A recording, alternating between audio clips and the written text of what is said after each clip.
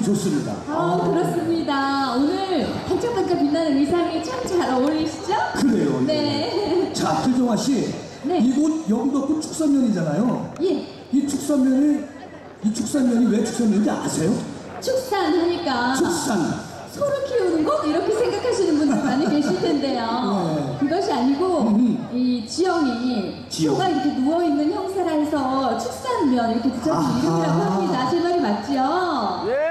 맞습니까? 맞아요! 네. 네. 그래서 이 지형이 네. 소가 누워 있는 형태다. 네. 아, 근데 제가 전망대에 올라가서 이 축산면, 축산항을 이렇게 잘 내려다 봤는데요. 네. 너무너무 아름다운 거예요. 그래서 혼자 보기가 정말 아까웠습니다. 바다의 향기가. 네. 아하, 네. 자, 이 바다의 향기를 우리가 네. 마음껏 우리가 마시면서 네.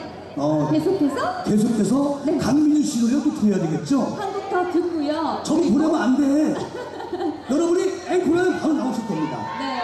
그리고 계속해서 어머님 용서하세요. 우리 이춘향 씨. 씨. 그리고 사랑아 사랑아의 윤서 씨도 함께 모셔볼까 합니다. 아, 그래요, 네. 네. 여러분 큰 박수로 환영해 주세요.